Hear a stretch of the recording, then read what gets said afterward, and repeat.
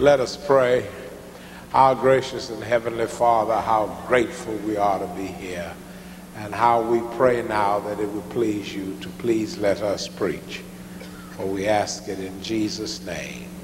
Amen. Wow. It's a joy and a privilege to be wherever I am.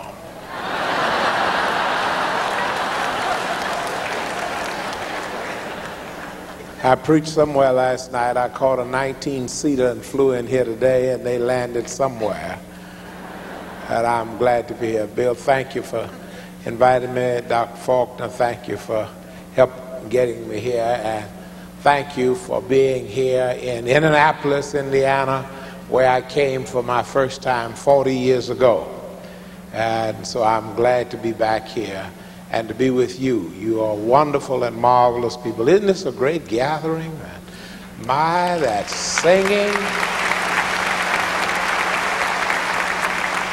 That singing from the choir, and then that lady that led that song. Uh, she reminded me that Texas Billionaire went to this concert. and I'm from Texas, so I can talk about it. He went to this concert and he heard this woman sing and he heard a voice and he said to his sidekick go back there to a room and tell her ask if she's married if she's married. And said if she's not married tell her i want to marry her tonight. That voice that voice that voice that voice. So he went back there and he said my boss wants to marry you. Are you married? He says no i'm not married but i'm not about to marry your boss. Who is your boss? I don't know anything about your boss said, well, he, he's, he's quite substantial and he plans to give you a million dollar cash as a, uh, uh, a, wedding gift. And she said, well, you think we can get somebody to marry us tonight? Uh, and so they got married and they went home. And when they got home, she pulled a wig off. And he said, that's not your hair? She said, no. Then he pulled the teeth out. Those are not your teeth? No. She said, Well, you better sing something else. I'm going to cancel that check. so this woman sang, sang, sang, sang. My, didn't she sing tonight? And so I am indeed glad to be here. I want to talk to you, I want to talk to you again. I want to talk to you about Say It Again. Now, it's not the one that I did in, uh, in, in, in um, Colorado. I want to talk with you about say it again.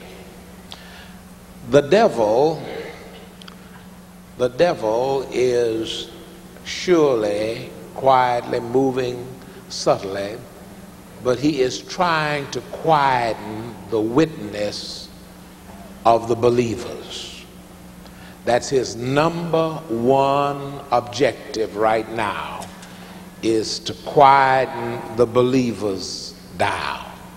In other words, he would ask the question to the average person walking by here, what on earth is all this going on? They said, well, it's some Bill Gates or somebody.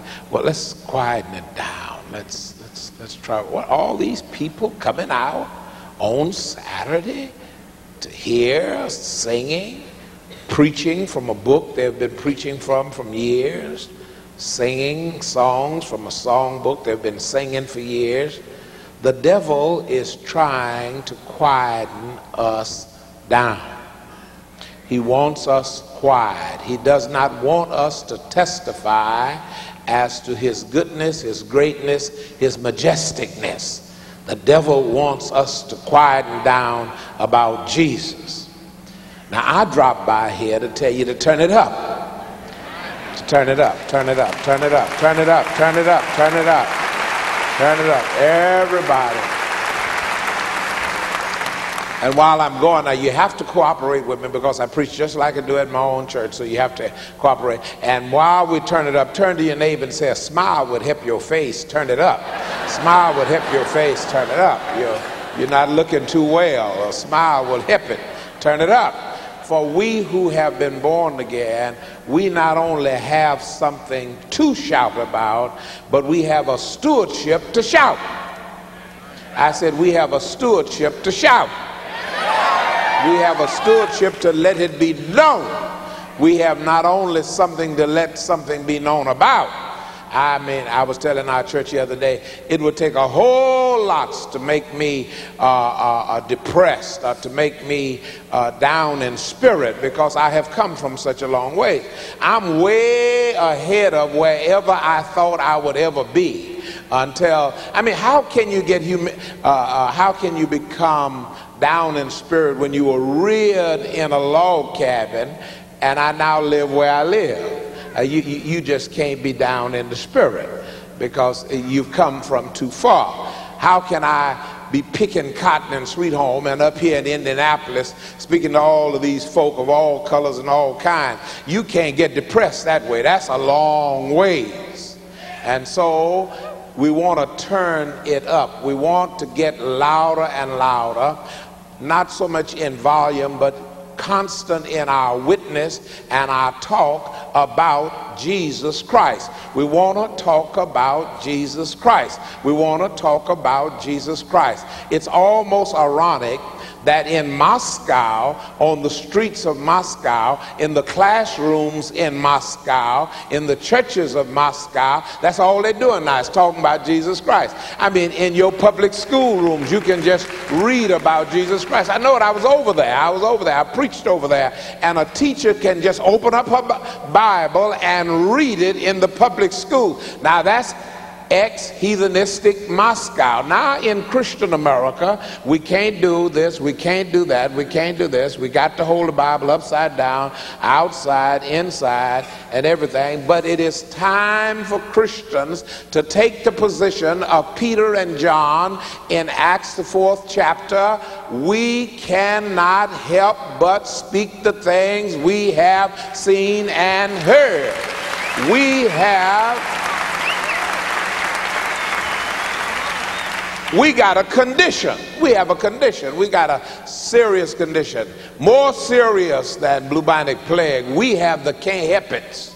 We've just got to talk about Jesus. We've just got to talk about Jesus because of what we have seen and heard. Now, there's some things that we need to say again about Jesus, and I have come here today to hope that we can create a fire right here in Indiana. Let it roll across these prairies. Go on over and burn up uh, Illinois or whoever surrounds you about it. Now, number one, we need to talk about and say it again as to who our Savior is.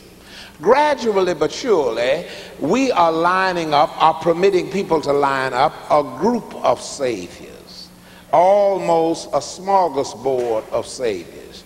You can pick this one out, you can pick that one out, you can pick this one out, you can pick that out, and whichever one suits you, go ahead and let that be your Savior. That won't work with me. I have to have a particular Savior. I have to have a particular kind of Savior. I'm in so much, I'm so controversial, I get in so much mess, I'm threatened so often. The Ku Kluxers gave me six years to live in Texas when I was 26 years old. I'm 60 now. I have to have a certain kind of a Savior. The Black Panther said I would be dead in six years when I was 29 years old. I'm 60 now. I have to have a certain kind of a Savior. I cannot have a Savior that has eyes and can't see, that has feet and can't walk, that has hands and can't reach me. When I get in trouble, when I say Lord, He's got to be right there because I don't have no time. I, there ain't no time to waste around. When I say Lord, trouble is on my path. And I need him right there. And so the first thing that we want to say about our Savior and proclaim it is that our Savior is God. I said, He's God. No, no, no, no no Buddha, no, no, no, no Confucius, no, no, no, no somebody up in some high place that thinks he's God. No, no, no, that ain't enough for us we got to have more than Buddha, more than Confucius, more than Muhammad, more than some guru.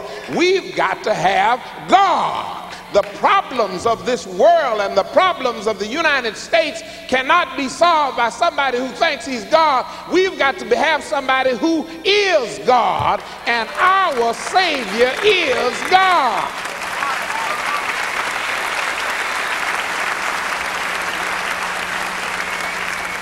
I turned to your neighbor and said, neighbor, oh, Mount Zion ain't, ain't one twentieth the size of this, and they knocked the roof off. Say, neighbor, neighbor my, Savior my Savior is God Himself. God himself. Hallelujah. Hallelujah. Fooling around with no false God. My Savior is God. Now let's read that. John 1. In the beginning was the Word, Jesus, and the Word was with God. Jesus was with God, and the Word was God. And look here. He was in the beginning with God. All things were made through him, my Savior, and without him nothing was made that was made, my Savior. In him was life, and the life was the light of man, my Savior. And the light shineth in darkness, and the darkness comprehended it not and let's add to that right quick. And he is the same today as he was yesterday. Let's get real proud right now of who our Savior is. Let's get real joyous of who our Savior is. Our Savior is God. Our Savior is Jesus, who is God, who was in beginning, who is in beginning, who is God in the beginning. Our Savior is God. Don't you feel better? Don't you feel wonderful?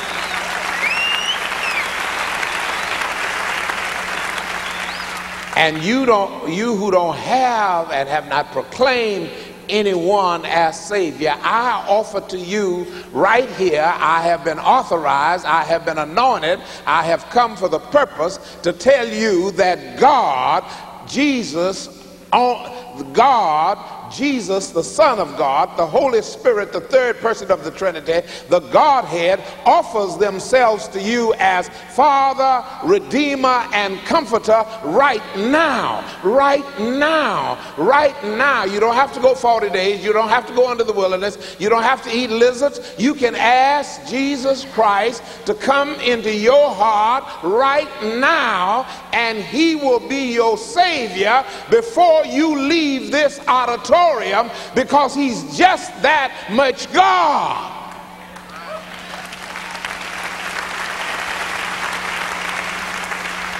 Now, these other folk have to take a little time to become your God. They got to work it out. But Jesus can become yours right now. He's mine right now. And he wants to be yours right now. Now, the first thing that we want to brag about is that our Savior is God. Now, the next thing I want to brag about is in the book of Philippians, Paul's letter to uh, church at Philippi. In the sixth verse, in the sixth verse of the second chapter, look what it says. Who, Jesus, being in the form of God, and we have already declared Jesus to be God. Jesus to be God the one you're praying to and in whose name you pray is God. We accept nothing less. No professors can teach us anything different. No theologians can teach us anything different.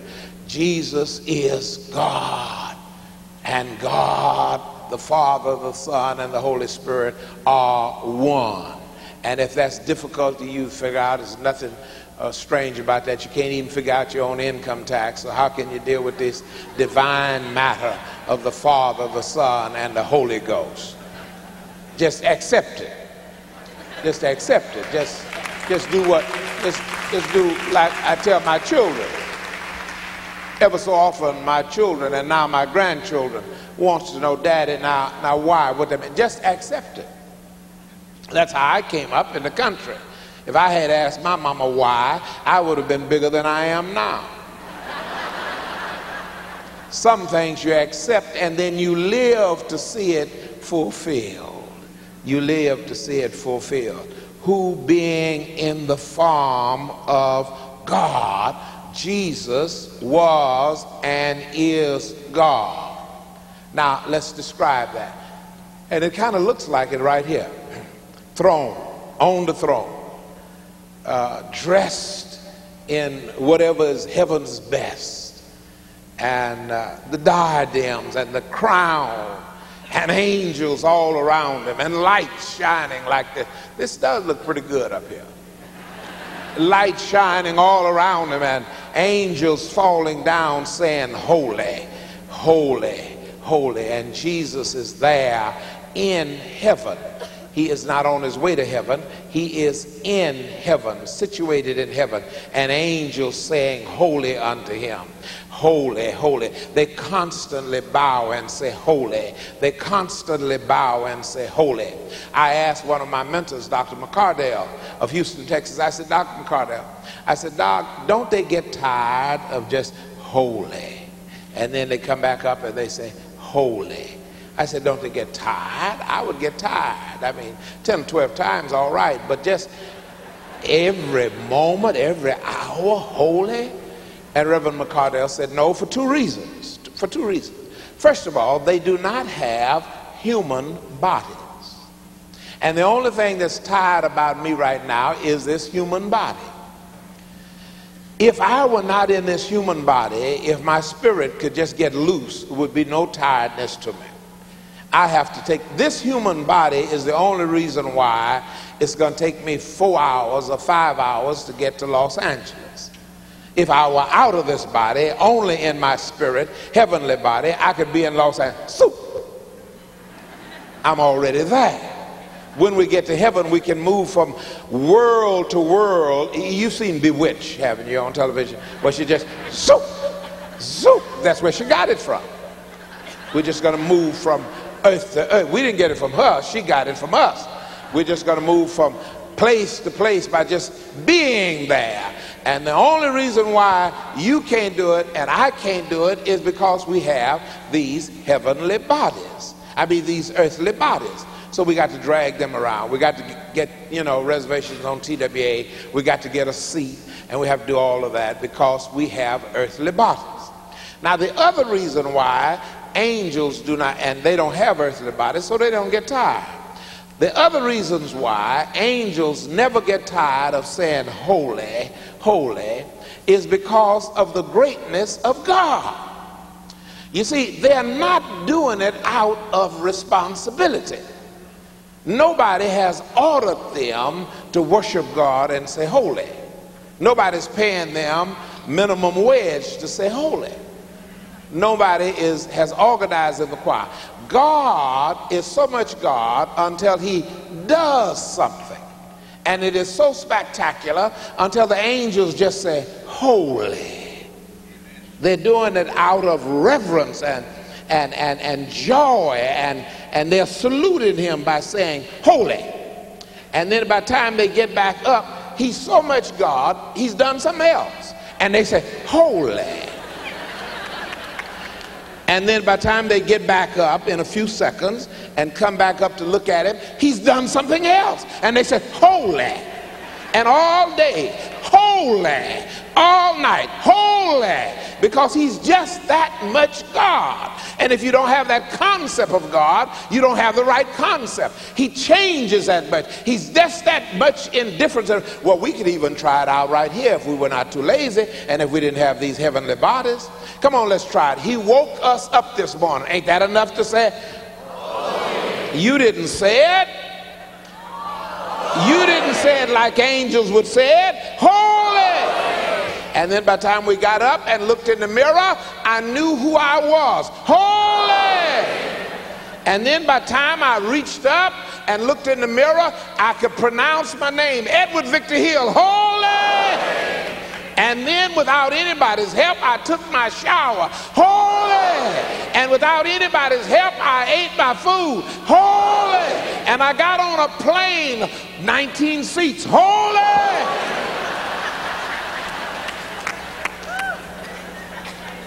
Just all day and all night.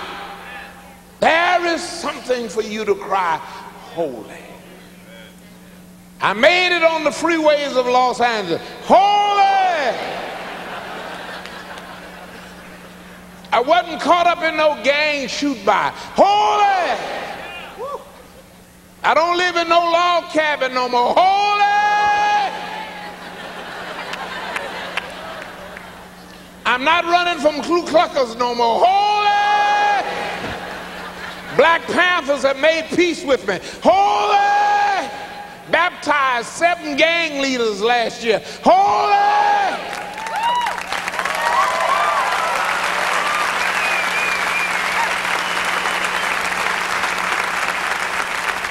I'm the official pastor of the Bloods and Crips of my neighborhood. Holy! Don't have no more trouble out of deacons. Throw blood on them. Holy!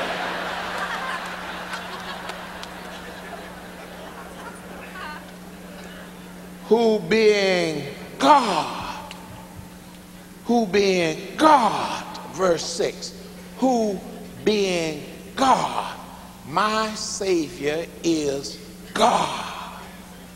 You know, all, a lot of time we like to go around and say, my lawyer is so and so, my teacher so and so, my bank banker so and so. But the greatest thing you can say today is my Savior is God. Ain't that wonderful? Now listen good. But now listen. to it. He did not consider it unfair. He did not consider it robbery to be equal with God. Now, here he is in heaven with everybody saying holy, with everybody bowing, perfectly holy himself. And the discussion came what are we going to do about man? What are we going to do about Ann and Bill and Dr. Faulkner and all? What are we going to do about them?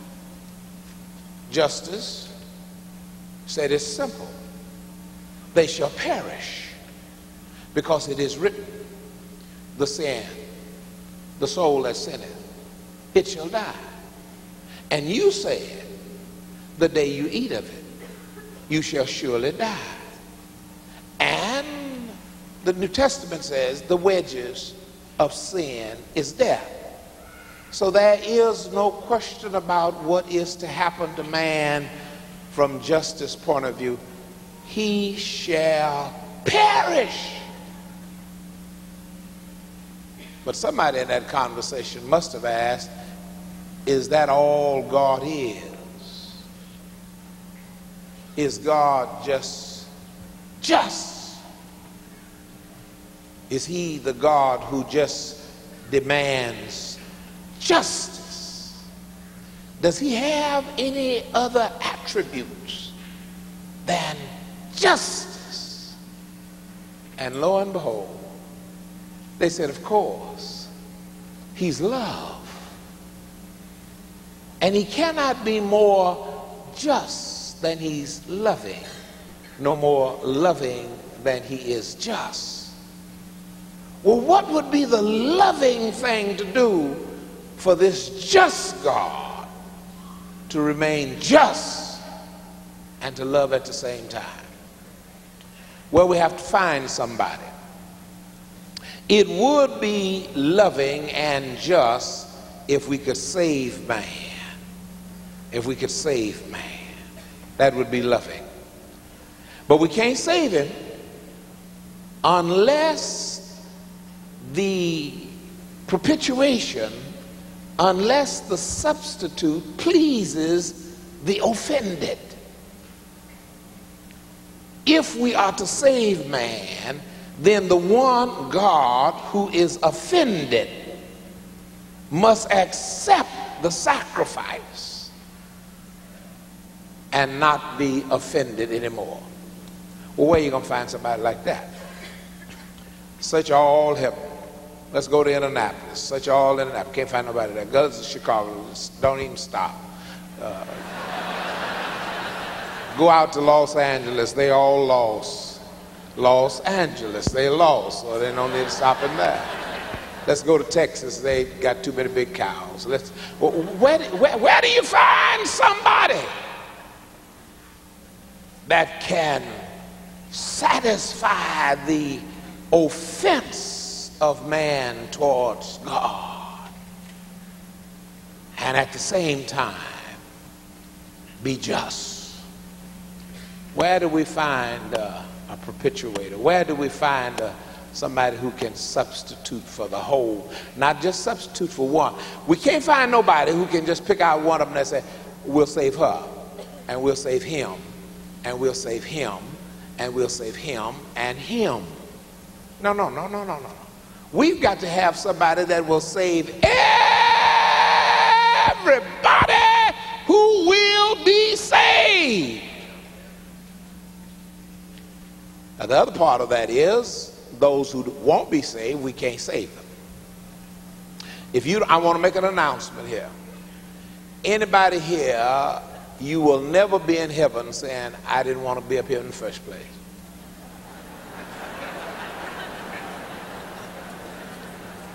You will never say, Well, my wife just kept on trying to drag me and be convinced she may well indeed influence you, but if you go to heaven, you're going to go to heaven as a choice of your own. I don't care who influenced you. I don't care what evangelist came to town.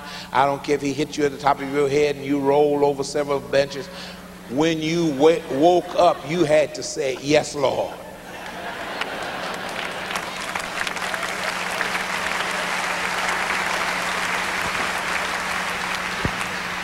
Your priest could sprinkle you, and that's very fine. Let him go ahead and sprinkle you. But as soon as you could get wet yourself, you got to do it yourself. You have to do it yourself. I know there are a lot of Episcopal in here, so I won't. Yes, I will. Just. My grandson, six years old, and my daughter is an attorney, a very distinguished attorney. She finished high school at 16, college at 19, law school at 23 she took my side of the family. and she's married to a very distinguished attorney. And they live in Western Massachusetts. They had me fooled that they lived in Boston. I was thinking about Roxbury, somewhere over there. And they picked me up at the airport and we drove 40 miles way away from Boston. I said, No, you don't live in no Boston. She lives in Weston. And uh, she's and her husband, just a few Negroes there, just one yonder, one there, one there. And because they're both attorneys, the white community wanted to integrate, you know. And, uh, and, and they brought them in so they could say they integrated. And so they are the four Negro members of the Episcopal Church my son, daughter, and the two grandsons. So the Episcopal priest was saying, Now we're going to have a baptism of a little baby, and you stand here, and you see my daughters being as sophisticated as they are, and Miss Hill, you stand here, you know, fully integrated and all that. And uh, then said, Now I'm going to put just a little water on the top of his head right here. And when I put the water there, and that will mean he's baptized my six year old grandson raised his hand. And he's always had a British nanny, so he doesn't talk like us.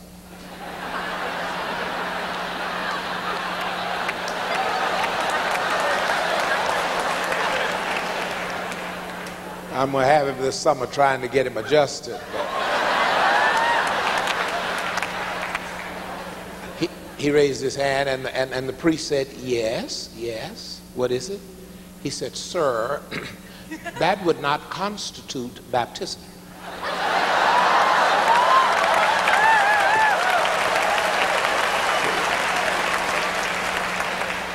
You would have to put the baby, sir, under the water all the way under the water, just a little dip won't constitute baptism. You must bury him under the water. My grandfather put me all the way under the water.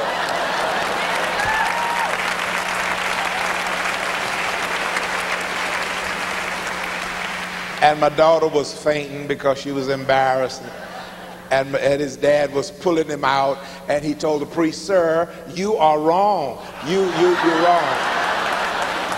Contact my granddaddy, and he will get you straight. You are wrong. And my daughter called and said, Oh, Daddy, we're so embarrassed that we will never be able to. And, and, Daddy, can't you do something? I said, Yes, I can send him some scriptures to back up what he's talking about.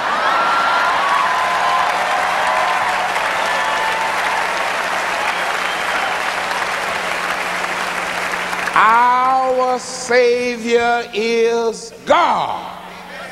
Whether you're sprinkled, buried, or what have you, our Savior is God and he thought it not robbery. This is what I want to get to. He didn't think it was unfair. Robed in all of the majesticness of God. Angels and archangels crying holy every day. The whole heavens and all the earths are his. But when the discussion came, what shall we do about man? And when we couldn't find nobody, nowhere, nowhere, nowhere, no angel, no man, he said, I'll go. Praise minute now. And his mouth wasn't stuck out. For the scripture said he didn't think it unfair. The Son of God, already in heaven, looking down on earth, and what does he see? Not a single one of you in here, your mama's, mama's, mama's, mama's, mama's, mama's, and your daughter's, daughter's, daughter's, daughters, not a single one did he see that was any cleaner than a filthy rag. And so when he looked down, he didn't see a whole lot of brilliant, wonderful people, marvelous people. He didn't see a whole lot of marvelous souls. He saw all had sinned and come short of the glory of God. He saw that there was no, not one that was any better than any aid patient that you have in Annapolis. And yet he said, I'll go.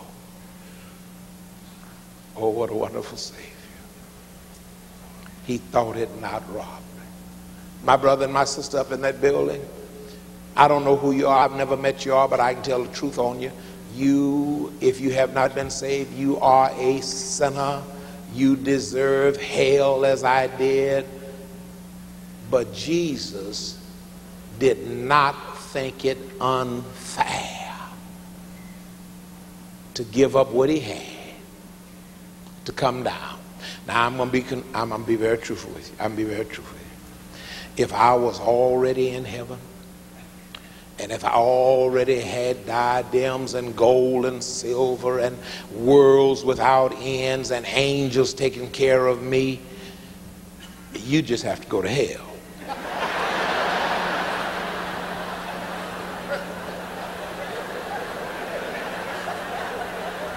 Amen, amen. I, that, that's the truth. And I know you laughing at me, you wouldn't come down either.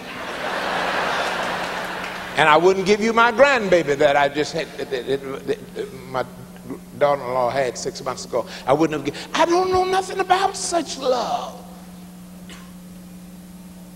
I can't even conceive of God becoming Son of Man in order that sons of men may become sons of God. I can't, I, I, I can't conceive of that. I can't conceive of he who was, is, and shall forever be holy and holy and holy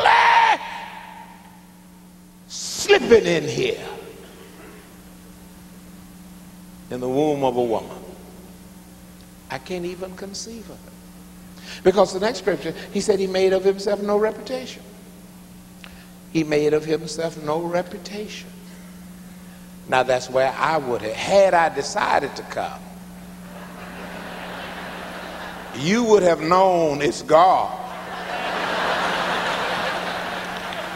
But I told those angels, get them stairs ready and make them gold and get those bands ready to play and play it, play it, play it, play it.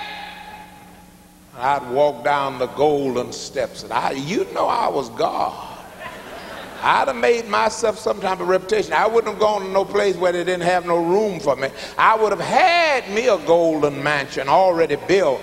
I would have had silver and gold, and you would too, because you're trying to do it all you can now, and you ain't no God.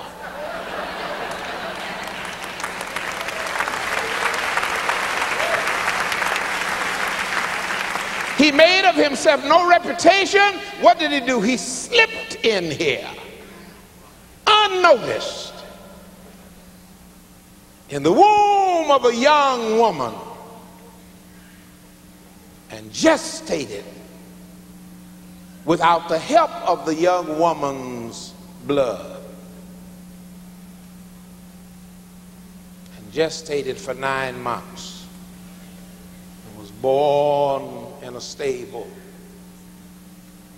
laid in a manger, wrapped in swaddling clothing.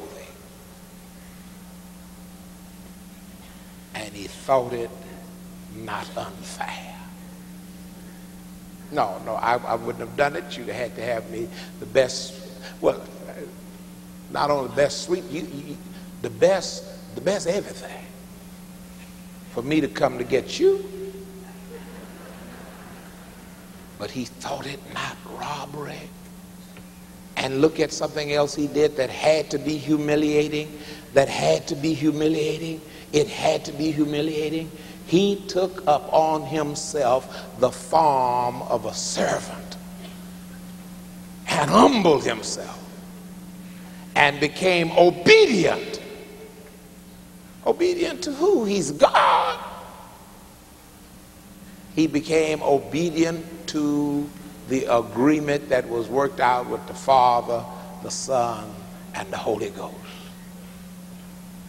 The Father said, If you go and if you die, I'll raise you. And the Holy Spirit said, And if you raise him, I'll go and comfort those who will come after him. And he became obedient even to the death of the cross. There he hung, and there he bled, and there he died, spit upon, wine bibber. Every conceivable thing that could be said about it was said about it, and he thought it not unfair. Thought it not unfair. There were several problems, you know. P.S. Wilkerson says, for the first time in history, the angels, the angels, gave God problems. Because when they saw Jesus giving up his position in glory temporarily and taking up on the form of you and me, the angel says, No, no, no, no, no, no, no, no, no. God said, Yes. Angel said, We've never disobeyed you in our life. P.S. Wilkerson said this, not in the book. The angel said, No, no, no, no. We won't let it happen that. Nobody will spit on our Savior and our God. Nobody will thrust a spear in his side. We won't do that. We won't let it happen. It can't happen to our Shekinah's glory. He's too holy. No sinful, filthy rag will touch his body. P.S. Wilkerson said God made a compromise with the angels. He said, I'll let y'all go peaceway, and I'll let you sing. And that's all. And that's why they swung out in glory and said, Glory to God in the highest. Because they said, We got to let y'all know who's here. And Indianapolis needs to know who's here somebody on a street corner that God has blessed in this aisle right here, raise your hand that God has been a special blessing to. You ought to holler, Glory! Be like my very good friend Schambach. Raise that hand and holler, Glory!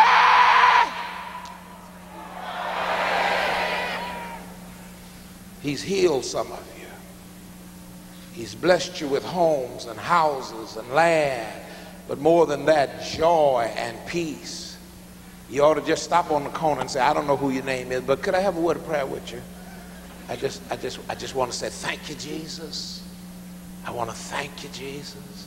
They say I'm a radical. They say I'm a fanatical. They say I'm too loud. But they just don't know what God has done for me. Doesn't know what God has done for me.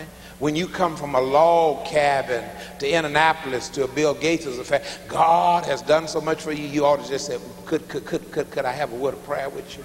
I just, I just want to have a word of prayer. I want to, I want to thank God. Thank you!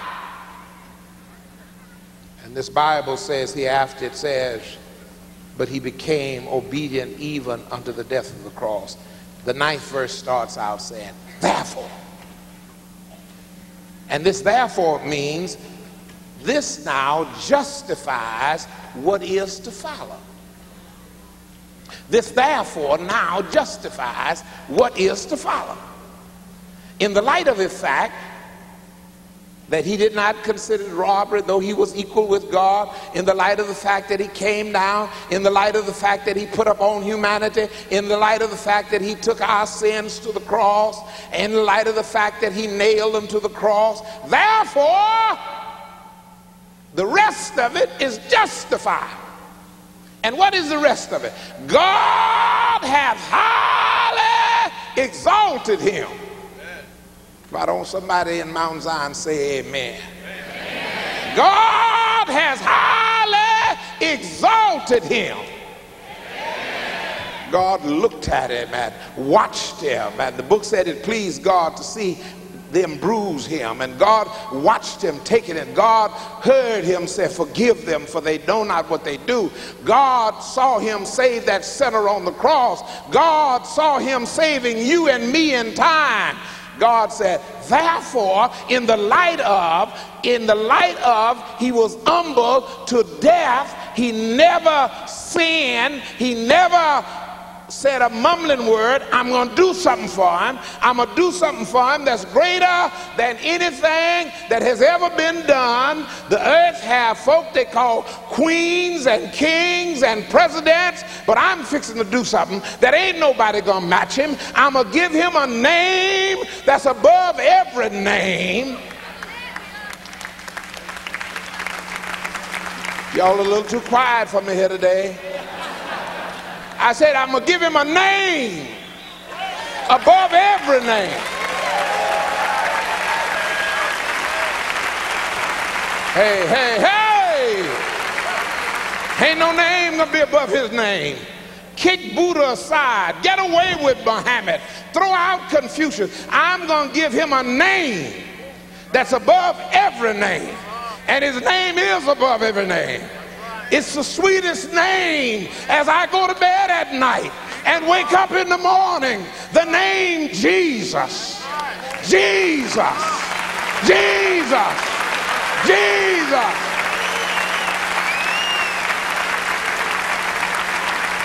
Hey, hey, hey. I got I got I got I got I used to have a bunch of them, but I got a few movie stars around my church and, and, and, and, and these, you know, these actors and things, Ben Vereen, that crowd. And, and, and the folk just rushed there to get that autograph. So I had to call them in. I said, Jayne, Jayne Kennedy was in it. I said, y'all, y'all come on in my office. I want to tell you something. Now, when anybody asks you for your autograph, just write down there, God loves you. Because your name ain't worth enough.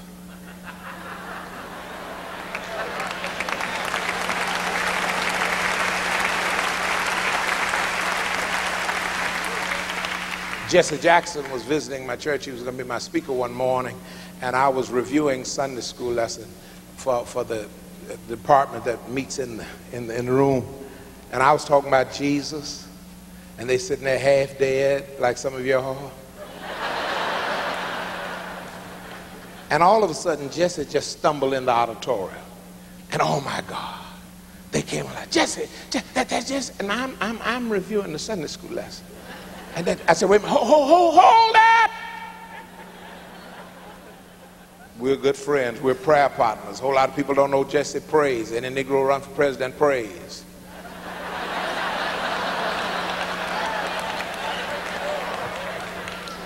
I said, hold it, hold it. I said, Usher, take Dr. Jackson in my office. Lock him up back there. because I have to get something straight with my church this morning. I don't want no church where Jesse is more popular than Jesus.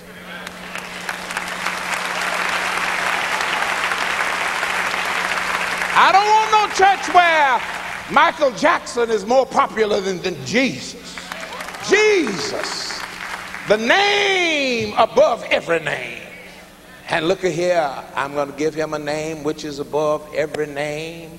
And then he said, and in and at that name, everything under the earth, all above the earth, all on earth is going to bow and every tongue, because of what he's done, because of what he did, because he didn't think it wrong, every tongue is going to confess, confess that Jesus Christ is Lord to the glory of God.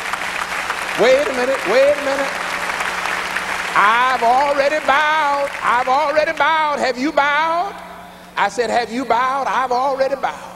I've already bowed on my knees and confessed that Jesus Christ is Lord. Have you bowed? I've confessed with my tongue that He's Savior. Have you confessed with your tongue? Is He your Lord? Is He your Savior? If so, that's wonderful. That's glorious. You're on your way to heaven. You've already been saved. The Holy Spirit dwells within you. You are somebody. You're a child of the King. You're a child of the King right now. And you ought to say it again. Holy. Glory. Jesus is Lord. Jesus is Lord. Hey, glory.